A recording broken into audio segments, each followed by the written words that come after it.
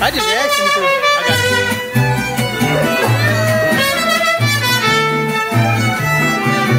Oh.